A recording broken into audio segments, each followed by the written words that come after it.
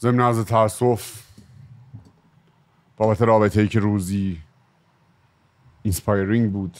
inspiring و امروز مایه تاسف و درس عبرت امیدوارم که هر چی زشتیه تو دنیا از بین بره دعاهای کلیشه ای هر چی قشنگی سه برابر. حتی شاید به توان سه برسه. خوش اومدید به ویدئویی از سری ویدیوهای کانال خودتون اینجاییم تا همدردی خودمون رو در رابطه ای از بین رفته.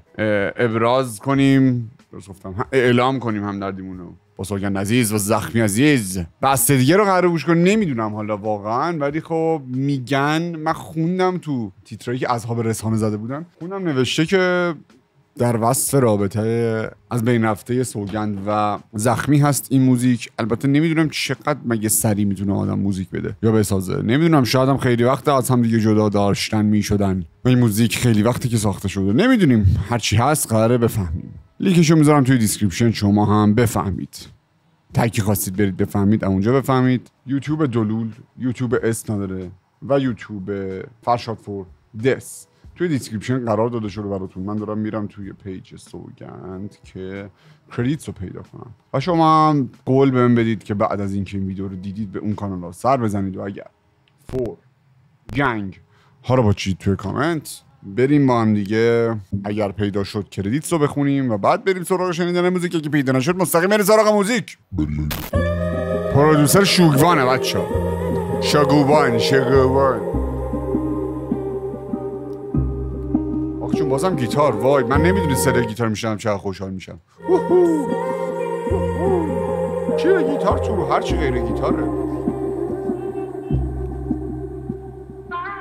فکر نمی‌کردم اینقدر خر باشی. قلبمو پس بدی تو زود. یادت بره هرچی گفتی بهم ازم بدوزی چشماتو به زود من که چیزی نمی‌خواستم جز جای کوچ زوده برای قضاوت ولی واکنش تفاوت واکنش دختر و پسر و بعد از جداییه. احساس می‌کنم این موزیک. حالا بهتون میگم چرا. با هم جز یه عشق صاف و ساده که بسازیم دوتایی باشیم مرهم.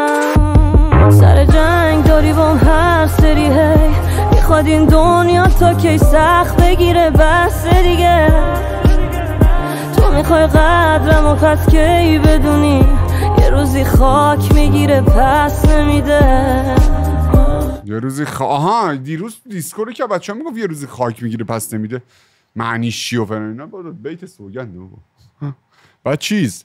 یه روزی خاک می‌گیره پس نمیدم؟ یعنی چی؟ یعنی اینکه یه روز میره زیر خاک. بذار بیت قبلیشو ببینیم. معنیش که مرگه ولی داره کنایی میگه اون. یه روزی خاک می‌گیره پس نمی‌گیره. می‌خواست خاک می‌گیره پس نمیده رو. می‌خوای قدرم و پس کی بدونی؟ یه روزی آها قدرم و پس کی می‌خوای بدونی؟ یه روز خاک منو ازت می‌گیره. پس نمیده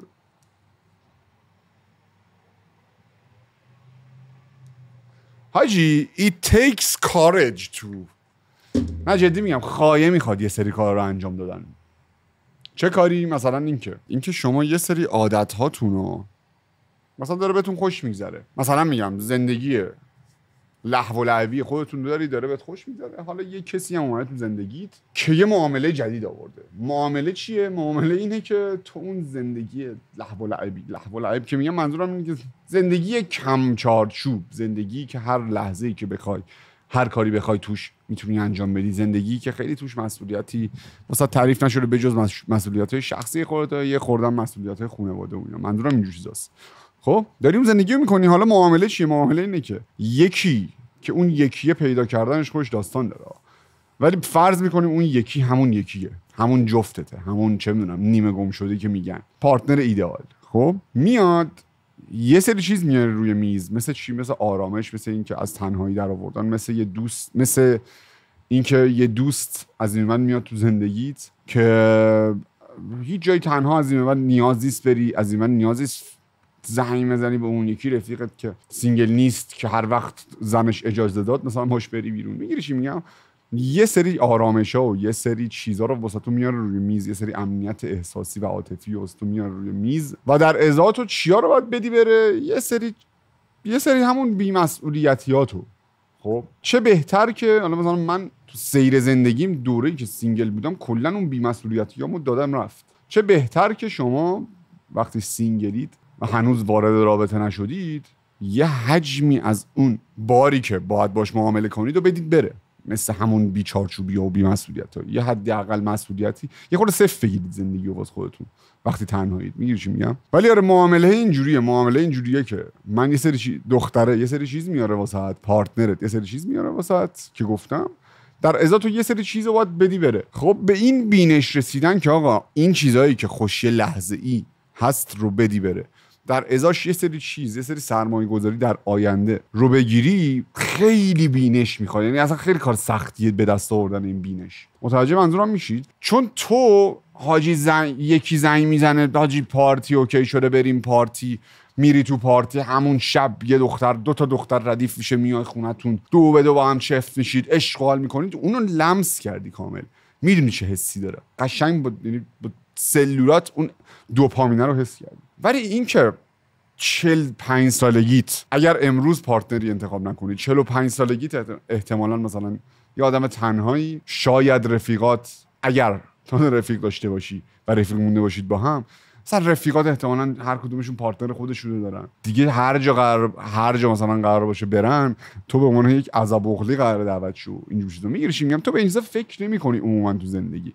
معمولا تو زندگی اینجوری که میری مسیر رو مثلا یه اشغالی پیش میاد اشغاله رو لمس می‌کنی ولی حس بدی که تو آینده ممکنه تجربه کنی و اصلاش فکر نمی کنی و اون حس رو لمس نکردی که بدون جنسش چیه. که از الان بتونی واسش سرمایه گذاری کنی و از الان بتونی پیشگیری کنی ازش. متوجه منظورم میشی؟ واسه همین معمولا تو این معامله میرینن آدما که آقا آینده رو میدم میره اشغال تو لحظه رو می‌گیرن و امروز نمی‌فهمن چه بلایی سر خودشون آوردن که.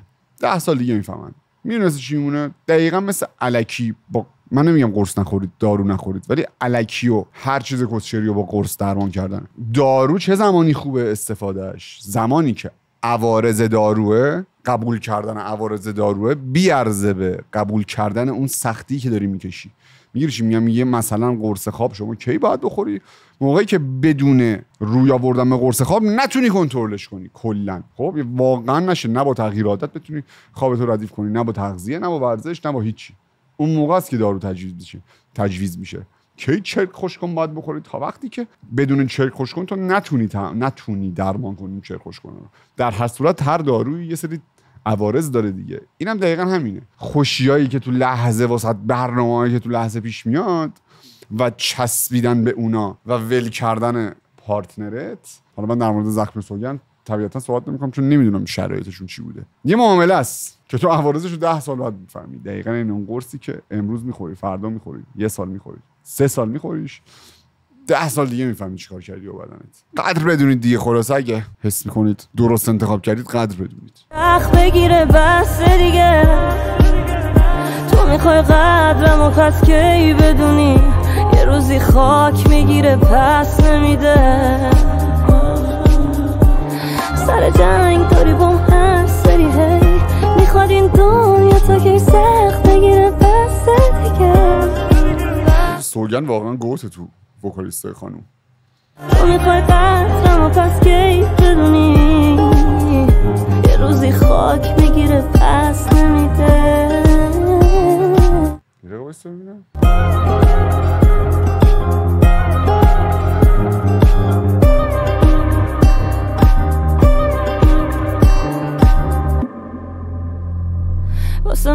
هیچ وقت حال خوب نخواستی من رفتم. الان بگو برات کی؟ تو برا من مهمی اون براش نی برگرد. بکنیم زودتراش تو برا من مهمی اون براش نیست. اون تو برا اون مهم نیستی.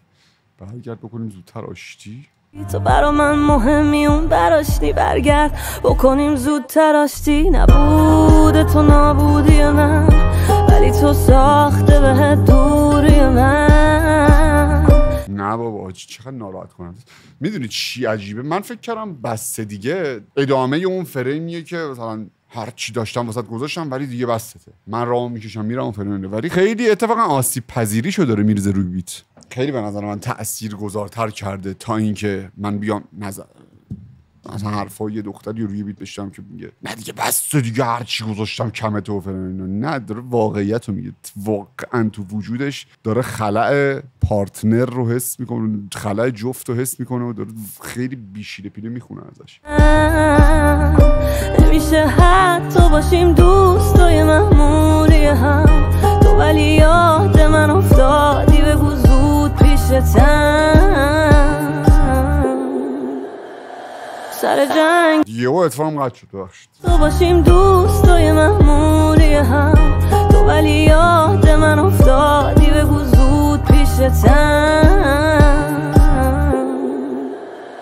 سر جنگ داری با هر سری هی.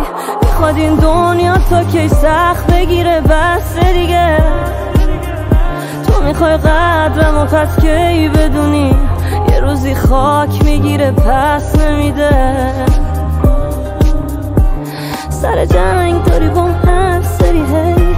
حاجی خیلی حالا من نمی‌دونم چی میگمش ولی خیلی سه چهار مدل جنس صدا من دارم میشنم از سوگند. واسه همین میگم من بعد از مدت ها دارم یکی از track ای سوگند جدی میشینم گوش میدم. به صورت active. واقعا پشمام ریخته. چون vocalist خانم کشورمون اول که تعدادشون زیاد نیست. دوما معمولا یه version ساده شده ای اکثرشون یه version ساده شده ای از مثلا vocal performance سوگند رو دارن. همشون شبیه سوگندن ولی مثلا میگم یه ورژن ساده شدهش ولی سوگند تو این ترک میگم دقیق اصطلاحشو نمی‌دونم ولی ج- اون جنس صداش اون جنس صدا خش داره رو میاره تو کار. اون صدا پر هوا رو میاره بعضی وقتا. یعنی تو مرحله صدا سازی من احساس می‌کنم آرشو ببینم کولر دقیق رومه دیگه از این چیکار کنم دیگه خنکشم؟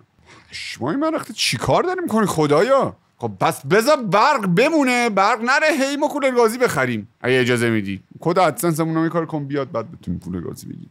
نمی‌تونم با هدفون موزیک گوش کنم گرمه متوجه منظورم میشین مثلا اینجا صدای نرم و الماس الماسی میشنویم ازش. یک کم قبلتر صدای خشدار میشنویم و همه اینا رو توی پرفکت ترین حالت ممکن داره دلیور می‌کنه. یعنی مثلا اونجوری نیست که بگی ای مصنوعی نیست ساخته. یعنی بلد اون صدا رو بسازه. خیلی باحاله. تو می‌خوای قدرم و پس کی بدونی؟ روزی خاک می‌گیره پس نمیده. سر جنگ داری با هر سری هی می‌خواد این دنیا تا کی سخت بگیره پس بیا دیگه این جنس اینا اینم تلا بود تو می‌خوای و پس کی بدونی؟ یه روزی خاک می‌گیره پس